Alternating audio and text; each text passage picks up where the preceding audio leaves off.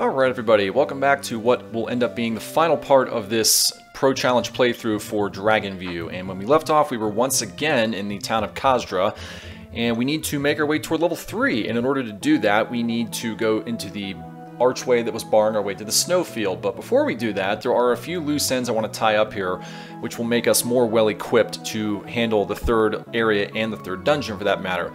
So the first thing I want to worry about is getting our fire ring fully powered and charged because that's going to be key to defeating this third and final boss quickly and hopefully as painlessly as possible. So you're going to head southwest out of the town of Kazdra, almost immediately southwest. And you're going to enter this mini fire cave. There are no enemies in here, thankfully. You just have to go all the way over this way, dodge the flames, jump the flames. That's really all there is to it. Like I said, no enemies.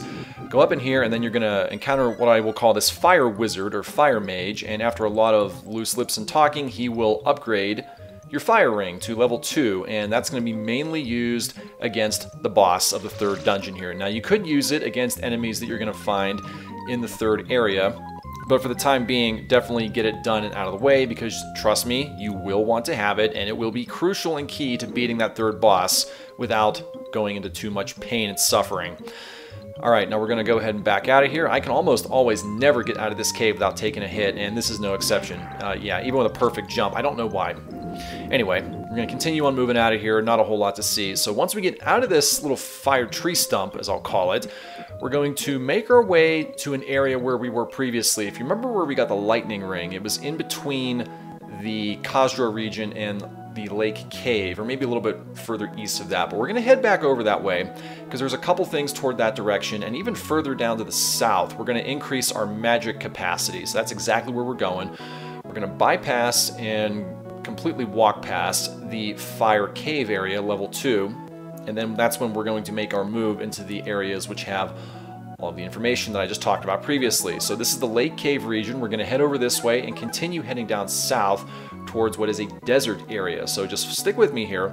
As we move into the Lake Cave area, I will tell you there is another technique that you can get for your sword. We'll just call it sword tech. If you pick it up and you hit X, it's going to deal significantly more damage than a regular sword strike would. The problem with that is that the sword tech will actually deplete your health, and it's for that reason that I actually don't recommend, and it's not really the end of the world if you don't get it. In fact, I think in this run I don't get it. But just, just to show you where it is, it is a little bit southeast of the Lake Cave area. And once again, if you don't get it, no big deal. Just to show you, if you do end up finding it, it's going to be in a similar area as the fire ring. It'll be in a little tree stump. Yeah, go figure that one out. You go in a tree stump to find a sword technique or a fire ring. Hey, I don't make the game. It's just a fantasy. Anyway, uh, what you're going to do from here is you're looking to find this desert area. Now, one thing you need to notice is that there will be a bridge that crosses a river, and eventually you're going to cross that bridge, and that will lead you straight over into this desert. We're going to continue heading south. We're not quite down there yet. At this point, we're just fooling around looking for the sword tech, and unfortunately, we're not going to find it, so we're just going to skip past this. Okay, we're finally done with that fiasco here. We've decided to move on to the desert area, and we're going to be heading straight east after we've gone south. And much like with the Fire Cave area region, you'll notice how the arena and the texture in the background is going to start turning a different color, and the music is going to change to a much more wild western theme, which is kind of ironic because we're heading east, so figure that one out. But anyway, just the game. Now we're going to be sticking along the southern wall, which is on the right in this case, and eventually, if you avoid all the enemy encounters, by the way, don't encounter any enemies here because they will wipe you very, very quickly. Stick along the right-hand side wall and eventually a cave will pop up. That's the one you want to go into and it is aptly called the Desert Cave. And when you go in here, you're not going to see a whole lot. Once the screen decides to continue loading here, this is the Desert Cave. You're just going to walk straight back through this hole and there's going to be a statue. Just move right on past it. You can't even push it. You can come back here eventually and push it out of the way, but for right now, just move over to the right-hand passage and you're to see, what's this? Another Persia boss. Yes, it is, believe it or not, a huge scorpion, but considering how overpowered we are for this stupid thing, we leveled up and he didn't, it is the easiest joke of a quote-unquote boss that you're ever to see. And what's the reward? A very, very nice one. It is an upgrade to your MP capacity. So check this out. We had four, now we have six stars, which is very, very nice considering the amount of damage and the use that these rings will be getting. Trust me, you absolutely want to have as much MP as possible, particularly for the third area boss and dungeon. Now we start backing out of here. You could go to the left, but again, it is another beginner's trap designed to trick you and utterly destroy you, much like the earlier Lake Cave region, I believe. So just get what you need, get the star back out of there, and continue on your merry way. Now, what we're going to do from this point is we're going to backtrack to the Kazdra Lake Cave area region, and there's one more sub area we need to visit here. And truthfully, you don't have to do this. This is just in case you want to have another let's just say, option for magic here. Remember how earlier we got the lightning ring? Well, now we're going to head to an area that will upgrade the lightning ring to level 2. Also, if you've killed enough enemies, there is an option to give you an upgraded boost to your health, I believe. In my case, I haven't done enough of it, so you're not going to see it. We're not going to get the merits and benefits of it. But basically, keep backtracking to the Lake Cave area and then continue to head due north. You'll be in a new area that looks kind of like a swamp region. So we're going to go ahead and skip, and once we get there, we will chime back in.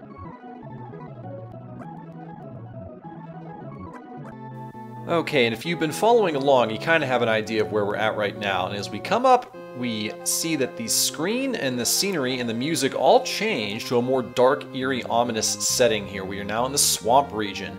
Now, once again, this is entirely optional. You don't have to do this, but there are two things that you may want to consider. One of them, of course, is the lightning ring upgrade, and that's going to be located, it's kind of difficult to tell and say exactly, but it's right out in the top central section of the swamp. If you have a guide pulled up and you can look at the exact location, it'll certainly help you. But the other thing you want to look out for is a cave on the left-hand side wall, and when you go in there, there is a man inside who will give you an upgrade to your heart, I believe, your health, I should say, if you've killed at least 100 enemies throughout the course of the game up to this point. And unfortunately, I have not done that. I know I haven't done it, so I'm just going to bypass and skip it. By the way, do not fight any random enemy encounters here in the swamp at this level. You will get annihilated. Don't do it. Yeah, even with the level 2 fire ring, it's a very hard fight. So just ignore it if you can. I am going to look around for the lightning ring upgrade, but once again, this is totally optional. You don't have to do this. So for the sake of that and knowing that, I'm just going to totally skip this until we have everything that we need, and then we will proceed onward with the rest of this playthrough.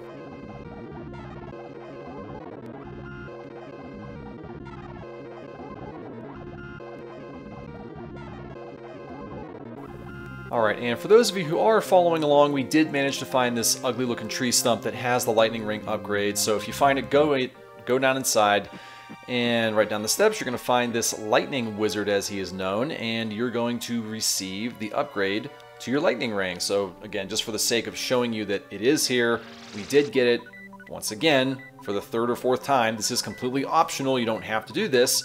But where this may come in handy is taking out enemies that fly, because sometimes, if you don't want to use the sword, this could be the best option outside of the Hausa weapon. So that's the main reason you may want to get this.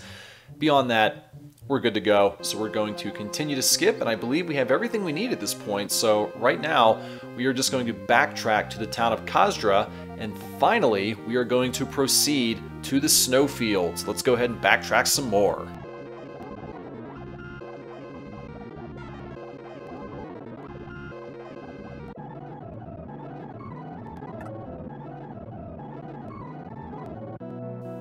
Alright, and we are once again back at the town of Kazdra. You think we'd be done with this town by now. Nope, this is a pretty much a focal point for this playthrough and for this game, especially in the early going. So now we're headed to the snowfield, right? So in order to get there, we need to head to the back region area of the town, and we're going to head past this, and it's going to be in this building right over here, I believe. Yes, it is. Alright, go straight through the archway. He will no longer be blocking our path. Just to prove it, yes, we have the Ring of Fire. We are all set to go. Alright, there is a portal. You're going to step right onto it, and you will be instantly dematerialized and rematerialized on a warp field, which will take you right into the snow area. And I gotta say, this is one of my personal favorite areas, not to mention soundtracks in the entire game here. I always love good soundtracks when it comes to snow and cold environments and things like that. Kind of reminds me a little bit of Mystical Ninja on N64, that kind of uh, music right there. Alright, so as you can see, we're clearly in the snowfield, and there's a couple things we want to do before we go into the snow fortress. And yes, we will get there eventually. We could probably go there not now, but we do need to get there soon enough. Now, there is one thing right in front of us. There is a cave, and why not? Let's go into it. And I will tell you, there is something very good in this cave. What exactly is it? Someone to talk to. Two landslide, what could that possibly mean? Well, it says Wandering Healer. I will tell you right now, this is not the thing you're going for. It's basically like going to Kazdra or a town like Rice's, Hujia, except you're paying this person to heal you. Why would I do that when I could go right back to Kazdra for free? You know, ridiculous. All right, now we're to go down the basement here, and ooh, check this out. That's why we showed up. A free HP capacity increase. Yes. Now, you might be tempted to go up and heal for 50 Jade. Don't do it. Jade is hard enough to get in this game as it is. Don't waste 50 on him. So that's really all you need at this point. Go ahead and backtrack out of here. And that's the first thing done and out of the way. And you certainly want to have extra HP since we're this close to finishing the pro level challenge. We just have to get to the Snow Fortress right now. So that's out of the way. Now the next thing we want to do is we're going to start to head up north and eventually over to the east. And there is another pickup we want to worry about getting here. So if we pull up our map, or not, I always forget what I did in this section here. We definitely do want to head up north. There are a couple things here. One of them is a chest game, which will give you an increase on something, such as bombs, potions, and things like that. That's optional. You don't have to do that, but there is also something else you're going to go into. There's another cave. If you head up to the top left, I believe, that's where the Snow Fortress level 3 is, along with the boss. We're to save that for the end. We don't want to do that until we're absolutely sure that we are ready to go with everything here. I will tell you out of the chute, you do want to be at at least level 15 preferably before you go and take on that fortress and the boss. By the way, this right here is a crucial upgrade. Remember that Hausa boomerang weapon we picked up way back at the start? Well, this is an upgrade to the energy here, and at this point in the game, you're going to absolutely want to prefer to use this weapon over the sword. I'm kidding you not. This is the boomerang, obviously, and with the high power increase, it's already stronger than the sword as it is, but now at level 2, by the way, take note of this, you can slide on the ice, and that could come into play in the Snow Fortress. This is going to be crucial, take a look at this. 78. Yeah, it is actually higher than the sword right now, so it will be your weapon of choice. Just to remind you what it does. It is an amazing weapon, and it will come in handy because you will have some flying enemies to deal with that may go out of your range. So that's crucial. You do want to have that, especially against the boss. But we're not quite ready just yet. Now there's one more upgrade we want to pick up here, and this is one that you definitely want, and you'll see why.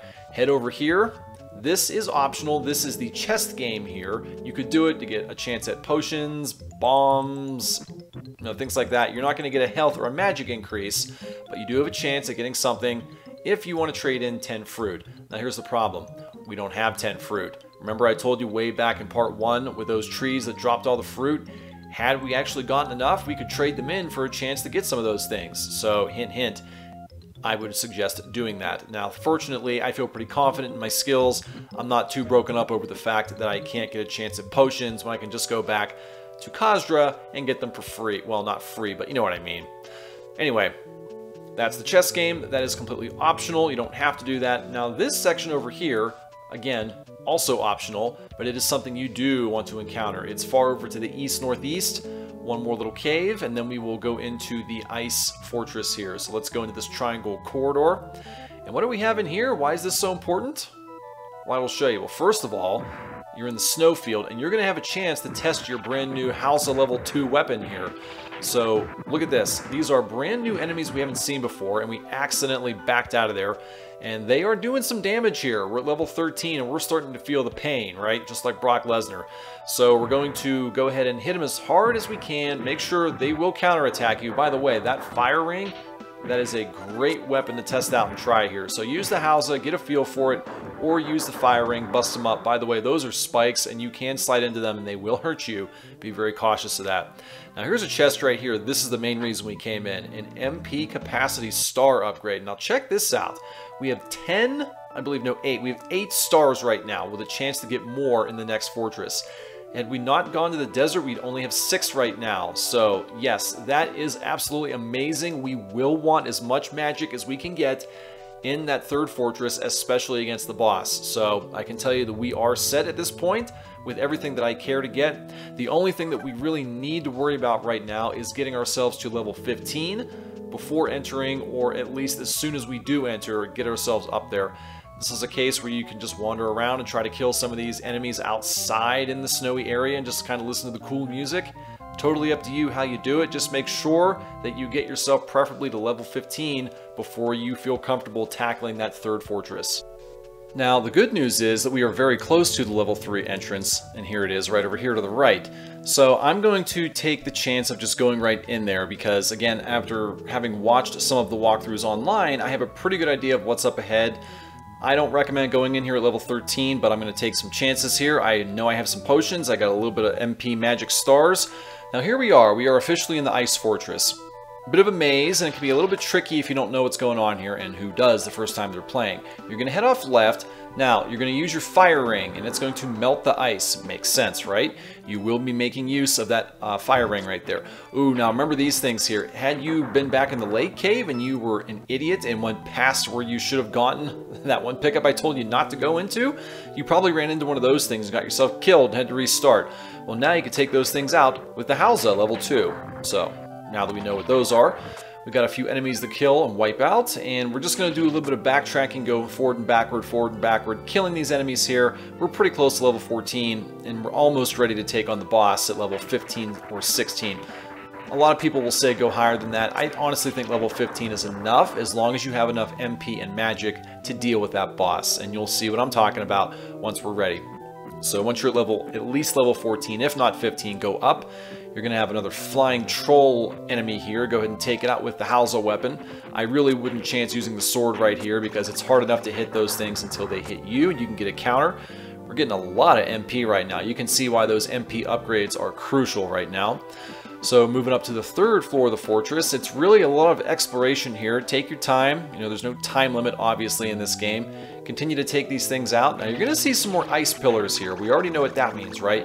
Go ahead and use your fire ring to bust through them, and there's a reason you want to bust through them. It's not because you're looking to waste your magic, but most importantly, those poles are guarding holes that will lead you to further sections in the dungeon that you were unable to get to normally. And of course, the only way you can get there with the fire ring, burn them down. Fortunately, it only takes one blast with the ring to dissolve them. But as you can see, there are, in this case, one, two, three, four, five poles, and you don't have to dissolve all of them, but certainly a couple blasts will be needed. So obviously, if you don't have enough stars, go ahead and kill some enemies and earn some. As you're going to see right about here, if you take some of these down, there is a hole there. Now, unfortunately, as I was playing this level, I didn't realize that until much later. I spent a lot of time wasted just fooling around, looking for other ways to progress through hidden doors. So for the time being, as you can see, we're just wasting time. So bear with me through the skip, and we will see you when we are ready to stop backtracking and go through the holes like we were supposed to do.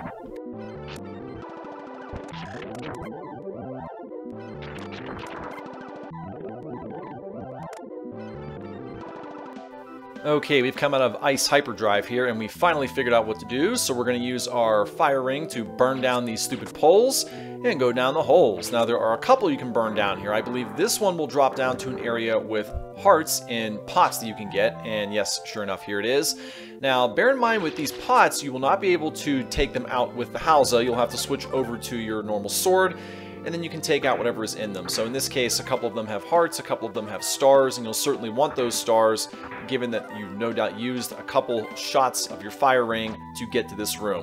Now, when you're done with that, it doesn't matter which hole you drop down, just go down one of them, kill the enemies, and bear in mind as you're doing this and as you're progressing through everything in this fortress, you ideally want to be at at least level 15 to comfortably take out the boss. Could you do it at 14? Yes, you could, but you're going to have a lot more sanity and you'll feel a lot more safe and secure and peace of mind knowing that you're level 15 preferably beyond that if you want to waste time leveling even further, but certainly level 15. So right about now, we're just wasting time going back and forth, killing enemies to get to level 15. We're only going to need, looking at the experience bar, probably maybe two more trips back and forward here to get what we need. And then we're ready to face the level 3 boss. And I will tell you right up front, the level 3 boss, I wouldn't say it's difficult per se, but the way and manner in which you have to fight it is different from the first two bosses. So keep that in mind. So we've only got one more wave, let's just say, of going back and forth killing enemies here. Let's see if this does it. I believe it will. One more kill will take it out and get us level 15. There it is. All right. we are in good shape to progress and finally take on this Ice Fortress boss. So let's continue up here. And this fire ring is going to come in handy very much for progressing and getting to the boss room. So we're going to head all the way up to the third floor once again. And we're going to move over to these rooms with the ice pillars here. And you already know what we need to do to progress even further. So let's just go ahead and do it. Now, this room, we've already dropped down in that hole. There's nothing to see there. We've already been down there. So let's not waste time and drop down it again. Let's just go back the way that we came. Now I will say, we're going to head over to the far right, if we remember where we're going. Here we are, we have a ice pillar again. We're going to melt it right here, drop down in the hole, and that's exactly where we want to be. Now, don't go down that hole on the left, that's going to take you back where you went from. Yeah, you can clearly see, just to show you what happens. If you need to level some more, you can certainly do that. Clearly, as I said, when I went through this dungeon the first time, I did not know where I was going. This is essentially a blind playthrough for me much like Metroid 2. The only difference is that I have a map handy with me, and don't ask me why I wasn't using it when I was playing this dungeon here, but alas, hindsight is 2020. Now that we definitely know where we're going, let's go ahead and progress back up to level 3 here, and over to the room which has the ice pillars, and go forward onward, and get to the third level boss here. So I think we know exactly where we're going now.